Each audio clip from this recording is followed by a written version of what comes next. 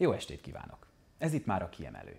Mai magazinunkban vendégünk lesz Agócs Márta Gordonka művész, a Kecskeméti Kodály Zoltán Énekzenei Általános Iskola Gimnázium, Szakgimnázium és Alapfokú Művészeti Iskola művésztanára, aki Kodály Zoltán díjat vehetett át a Városnapján. Ezt követően pedig Molnár H. Boglárka kolléganőnkkel készült beszélgetést tekinthetik meg, aki nem régiben vette át Budapesten magyar sajtó kategóriában a Junior Prima díjat. Már is kezdünk.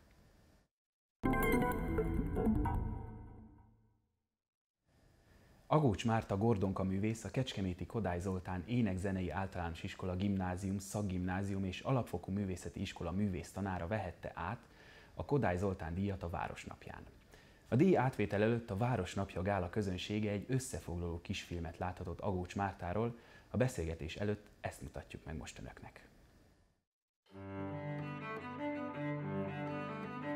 Kora gyerekkoromban otthon mindig zenét hallgattam a rádióban, illetve apukám amatőr zenész volt. Trombitált, csinált magának egy zenekart, amivel lakodalmakban játszott, de is, aztán színi előadást tartott, amit ő rendezett, játszott benne és zenét szerzett hozzá. Úgyhogy így egy kicsit jelen volt az életünkben mindig. Beirattak a zeneiskolába a Szolnokon, mert ott születtem, pehemre vagy szerencsémre éppen a cselló tanár volt az ügyeletes. És akkor rögtön megnézte a kezeimet. És azt mondta, hogy hát ez született csellista kész, kész, eldőlt a dolog.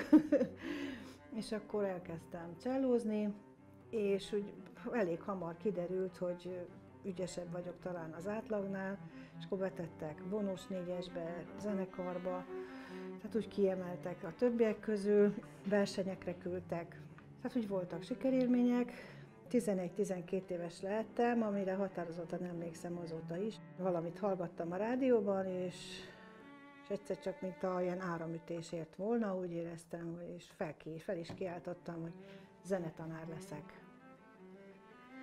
És aztán ez így lett. Maradtam a csellónál, illetve hát az biztos, hogy a hangja az mindig, mindig nagyon közel állt hozzám. Tehát úgy éreztem, hogy a legemberibb hangon tud beszélni. A hangterjedelme is a legközelebb áll az emberi hangterjedelemhez. Hegedű túl magas, bőgő túl mély, és, és hogy nagyon sok mindent ki lehet fejezni vele. És ez is volt azt hiszem egész életemben a célom, meg ahogy ezt is adjam át a gyerekeknek, hogy amilyen hangon ők megszólalnak a hangszeren, azok ők maguk legyenek, és úgy érezze mindenki, hogy beszél hozzájuk valaki. A zeneszerző gondolatait ő közvetíti. Úgy gondolom, hogy a, a képességek önmagukban nagyon kevesek ezen a pályán, sokkal nagyobb rész jelent az, hogy valaki milyen ember, mennyire kitartó, mennyire szereti, amit csinál, és mennyire akarja magából kihozni a maximumot. Köszöntöm tehát Agócs Márta Gordonka művészt, a Kecskeméti Kodály Zoltán Énekzenei Iskola művésztanárát stúdiónkban. Jó estét kívánok! Jó estét kívánok! Mik azok a főbb állomások, amikre szívesen emlékszik vissza pályafutása során? Hát, talán az egyik fontos állomás az, ahogyan Kecskemétre kerültem ugyanis éppen a Zeneakadémia küldött ki bennünket egy németországi ifjúsági kurzusra, és főiskoláron már nem jártam, de még nem diplomáztam, és úgy jöttem haza, hogy hát légüres tér van körülöttem, nem tudom, mit fogok csinálni. És akkor felhívott a Macák János kollégám, a klarinétművész, akivel játszottam korábban, és, és mondta, hogy itt felmondott a csellótanár, és jöhetek azonnal és akkor hip-hop ide kerültem Kecskemétre. Aztán szép emlékek még az első évekből, hogy nagyon sokat kamaráztunk a kollégákkal, tanári kamarazenekarunk is volt, szólót is játszhattam elég sokat, és aztán ugye elkezdtek jönni a növendékek egyre többen és egyre jobbak, Aztán kiemelném még, amikor az első növendékemet felvették Bécsbe, a, a Zeneművészeti Főiskolára, aztán mikor meghívtak országos és regionális és országos versenyek zsűri tagjának, amikben azóta is részt veszek, aztán ilyen külföldi versenyeken díjakat nyertek a növendékeim, és aztán mint felkészítő tanár is kaptam a díjakat. Térjünk egy kicsit vissza erre Igen. a díjra. Mi jutott eszébe, amikor átvettem? Mégis mennyire lepte meg? Eléggé meglepett, mert pár évvel ezelőtt még az előző igazgatónőm Alföldinél Dobozi Eszter tudtommal felterjesztett, és akkor nem kaptam meg, úgyhogy én teljesen el is felejtkeztem róla, úgyhogy meglepő volt számomra, hogy én kaptam.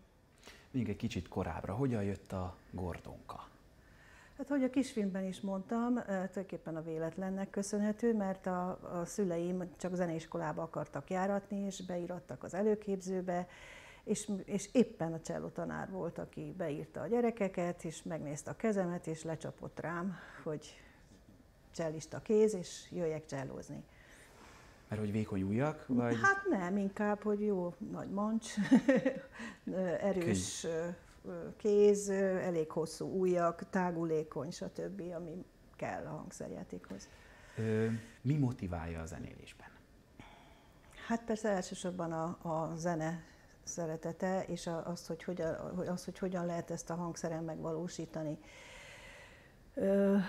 Ez sokszor nehéz küzdelem, mert a vonós hangszerek azok szerintem, amikhez a legtöbb idő kell, amíg akkor egy gyerek elkezdi, hosszú idő telik el, amíg élvezhetővé válik számára is a hangja, meg a környezete számára is. És igyekszem mindig olyan hangot játszani, meg olyan hangképzésre tanítani a növendékeimet, ami személyes, amiben ők maguk benne vannak, és, és ezen keresztül tudják a zeneszerző gondolatait közvetíteni. Mióta játszik a hangszeren? Hát tulajdonképpen 9 éves korom óta. Ez már elég rég volt. És, és mióta tanít? Több mint 40 éve. És a művész tanári pályában mi motiválja? Amellett, hogy egyik növendékét például Bécsbe felvették, ezen kívül Hát azóta még... már vagy hetet felvettek oda, ah. meg más, Tehát akkor van visszaigazolás. Is. Igen, igen.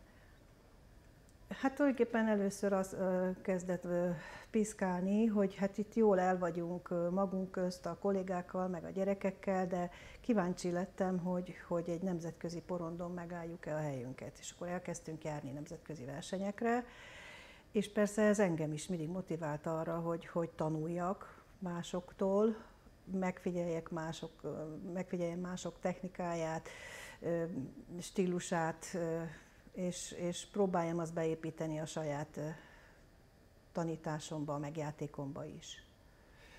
A jövőre nézve mit, mit lehet tudni? Tervek, célok? Esetleg most felvételizik-e valamelyik diák? Igen, hárman felvételiznek. Ebből az egyik szintén Németországba felvételizik.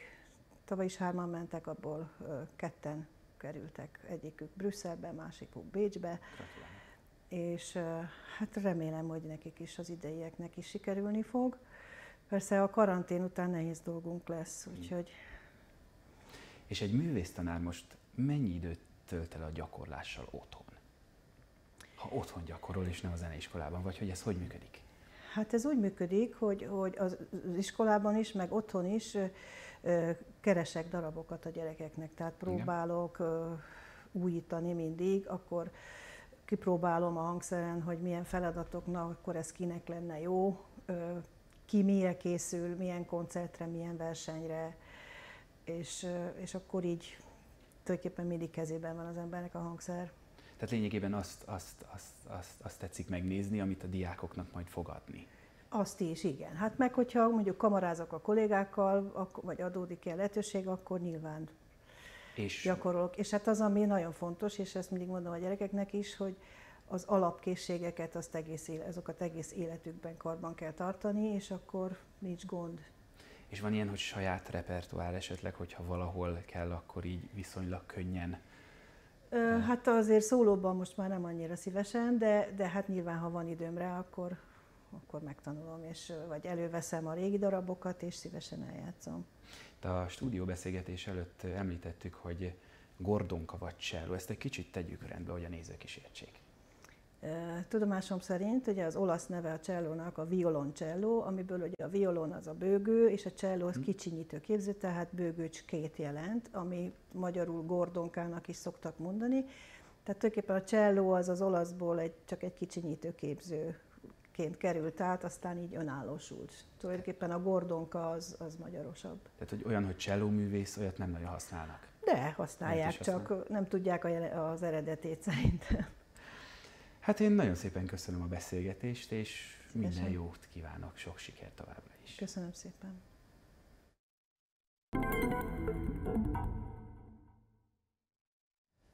Átadták a junior prima díjakat magyar sajtó kategóriában Budapesten. A hat fiatal díjazott között Molnár H. Boglárka, a Kecskeméti Televízió szerkesztő riportere is részesült a kitüntetésben. A díjazottat Hájas Barnabás kérdezte. Ezt a stúdió beszélgetést láthatják most.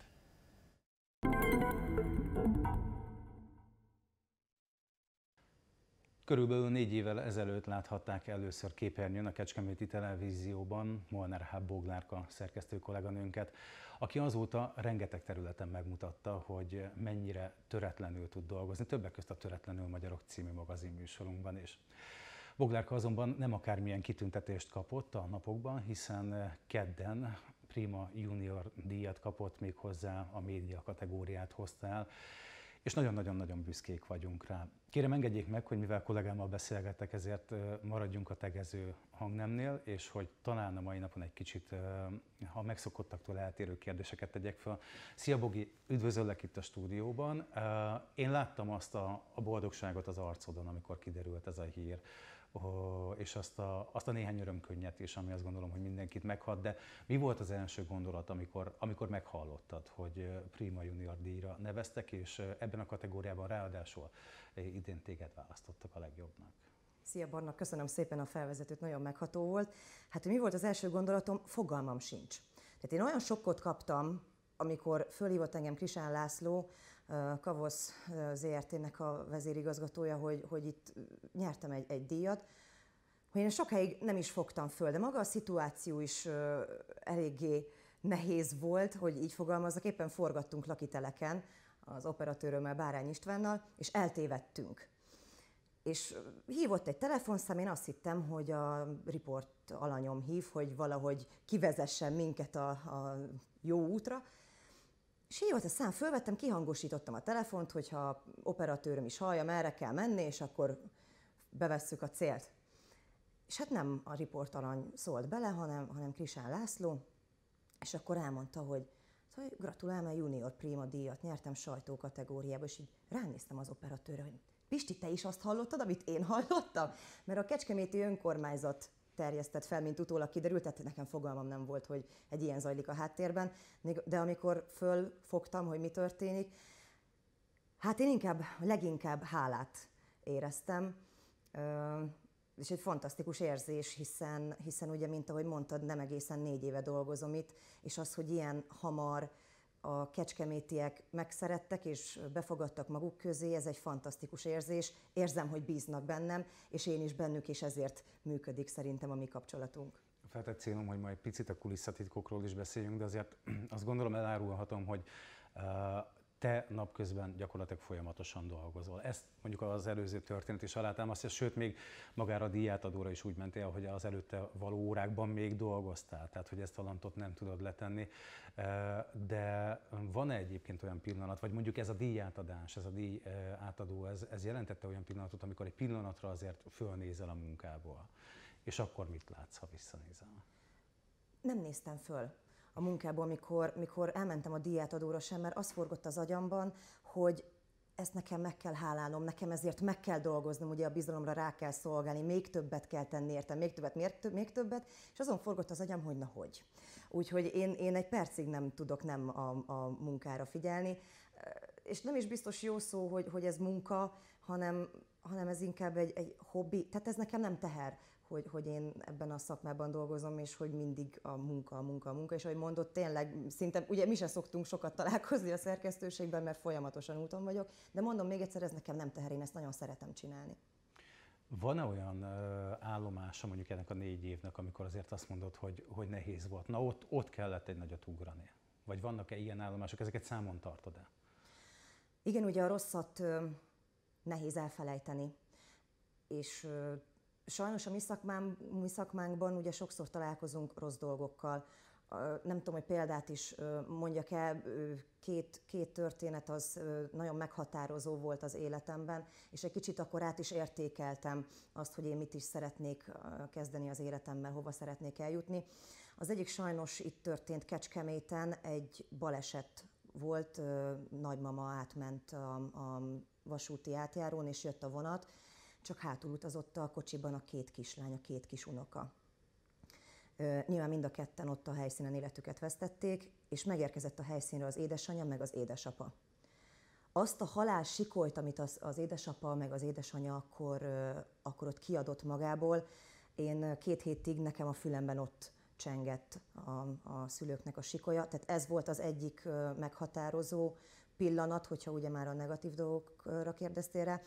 A másik meg most a pandémia alatt történt, M1 stábjaként ugye dolgozunk, és elmentünk ugye stáb, az országban dolgozó stáboknak egy kis, kis része vagyunk mi, akik eljutottunk Covid intenzívre. És Kiskunhalason voltunk a mobil járványkórházban, és azok, tehát a vörös zónába mentünk be, ott, ahol, ahol az emberek már az életükért küzdöttek, lélegeztetőgépen voltak, magukról nem tudtak, és akkor beléptem a, a Covid intenzívre, láttam azt a sok embert a lélegeztetőgépen, és hogy az orvosok hogy ott hogy küzdenek, és elnéztem bal oldalra, és egy fiatal lány feküdt az ágyon lélegeztetőgéppel, és megkérdeztem az orvost, hogy hány éves. Azt mondja, 34. Én most 30 vagyok. Tehát, és egyébként a, a, a hölgy, ha én jól tudom, akkor, mert figyeltem, ő, ő nem is élte túl ezt a, ezt a ö, fertőzést, és, és rettenetes érzés volt azt látni, hogy egy nálamnál alig idősebb hölgy, akinek súlyos alapbetegsége igazából nem volt, ott fekszik, és meg kellett szólalni utána. Tehát ez volt igazából az, amit az eredeti kérdést föltettél, a legmeghatározóbb forgatásom, amikor azt mondtam, hogy hoppá. Ez a híradós munka, mm, de közben ugye ezért egy magazin műsor is a kezeit között van, és ott is számomra egy picit érdekes az analógia, hogy a, a traumák feldolgozásával foglalkozol, és mindig valami, valami plusz, valami kis pozitív végkicsengés azért abban van. Mennyire fontos ez neked, hiszen azért azt gondolom, hogy ezek is súlyos és vaskos témák. Soha nem egyszerű. Akár a, a határon túli magyarságra gondolok, akár egyébként, hogyha a kecskeméti kardokra gondolok, annak a hagyatéknak az elvesztése és visszahozása. Mindegyik egy olyan téma, ami mögött azért vannak tragédiák, és utána mégiscsak van egyfajta épülés a végén. Igen, ezekből a tragédiákból mindig építkezni kell. Nyilván van az első sok hatás, amikor szembesülsz a valósággal, de a lényeg az szerintem, hogy, hogy minden rosszból valami előnyt kovácsoljál, hogy saját magadat tudjad építeni, akár a munkában, akár, akár a magánéletedben. És ugye említetted a határon túli magyarságot, ez, ez egy nagyon jó példa erre. Említetted a felvezetőben, hogy Töretlenül Magyarok magazint elindítottuk a Kecskeméti Televízióban, ami ugye egy híd az anyaországi és az elcsatolt területeken élő magyarság között. De azt nagyon sokan nem tudják, hogy mi áll a háttérben. De az én édesapám író, édesanyám színésznő és Erdélyből ők 87-ben el kellett meneküljenek, ott kellett hagyják a szülőföldjüket, mert édesapám íróként olyanokat írt a Ceausescu rendszerben, amit nem kellett volna. És hát kellett volna, csak nem volt szabad. És bizony a szekuritáté lehallgatta őket, rájuk szállt, nem adtak egyikőjüknek sem munkát. Édesapám álnéven írt akkor egy pszichológiai rovatot. És, és megszenvedték a szülőföld elhagyását, és megszenvedték azt is, ahogyan itt Magyarországon, ugye nyilván befogadták akkor már a, a menekülteket, de, de mégis kívülállóként kezelték őket, és egyébként a mai napig sokszor érzem, hogy még mindig kívülállóként kezelnek minket, és, ebb, és ezt a tragédiát is, mert ez egy családi tragédiának mondható, nem belesüllyedtünk, mert nem csak én, édesapám és édesanyám is ö, ö, dolgoztak nagyon sokáig, édesapámat 2016-ban elvesztettük, ö, de ő szinte az utolsó pillanatig írt. Édesanyám is a mai napig színpadon van, és teszi a dolgát. És én is ebből építkezem, és teszem a dolgomat. Tehát egy perpétum mobile család, egy örök mozgó család. Így van, ezt igen. mondhatjuk. Igen. Mondtad, hogy azért nyilván magad így kötelez, Arról beszéltünk, hogy mennyit dolgozol, és hogy, hogy gyakorlatilag ebből nem látsz ki, de akkor ezen felül hova lehet még adni? Tehát mi jutott eszedbe? Igen, tehát mindig ettől a kérdéstől egyébként félek, hogy, hogy mit szeretnék a jövőben csinálni, mert hogy én most annyira szeretem, amit csinálok, hogy, hogy én ezen nem gondolkozom most jelen pillanatban. Az tény, hogy, hogy kicsit a, ebbe a magazinba több időt, energiát szeretnék beletenni, nagyon sok témával szeretnék foglalkozni, úgyhogy inkább, inkább most ilyen rövid távú tervek, célok vannak, de hogy most mi lesz hosszú távon, nem tudom. Én itt nagyon szeretek dolgozni, úgyhogy én innen egyelőre az tervben nincs, hogy elmenjek. Az a filmvilága mennyire vonz? Vonz, ugye két dokumentumfilmet is készítettünk itt a Kecskeméti Televízió munkatársaival a Kecskeméti kardokat, illetve a Bétót Ferencről, Feri bácsiról szóló egy felépített élet című dokumentumfilmet.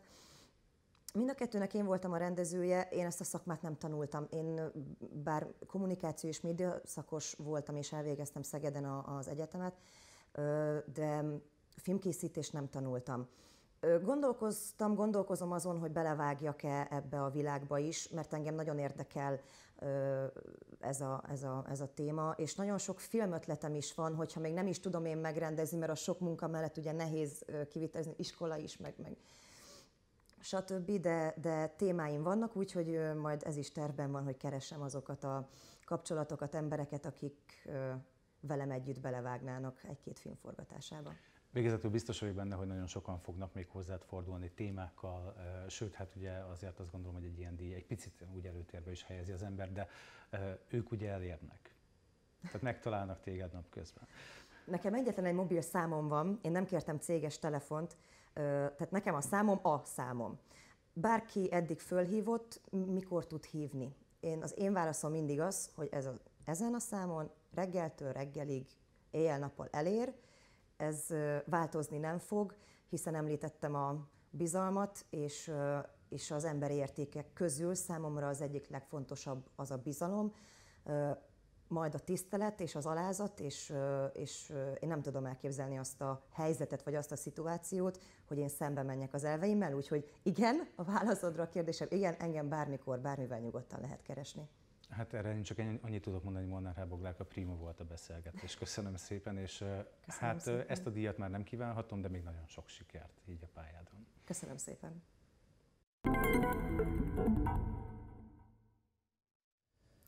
A híróra végén a nap legfontosabb híreit láthatják egy percben. Következzen az Esti Gyors.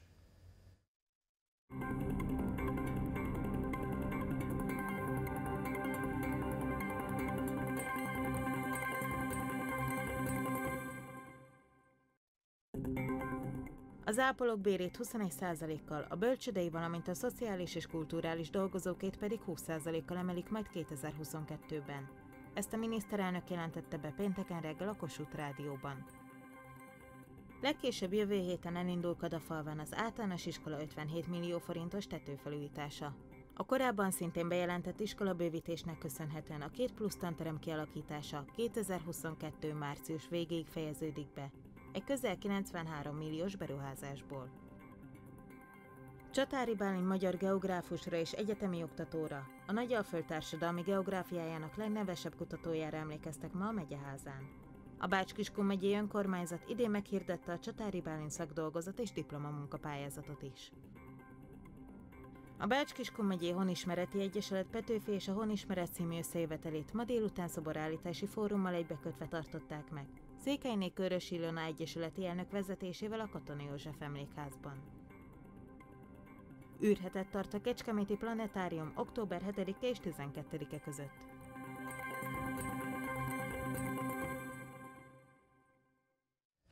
Kedves nézőink! Hírórával legközelebb hétfőn várjuk Önöket este 7 órától. A híradóban a legfontosabb hírekkel, azt követően pedig a kiemelőben számos háttérinformációval, érdekességgel szolgálunk minden hétköznap. Tartsanak velünk akkor is! Én kollégáim nevében is köszönöm mai megtisztelő figyelmüket, viszontlátásra! thank you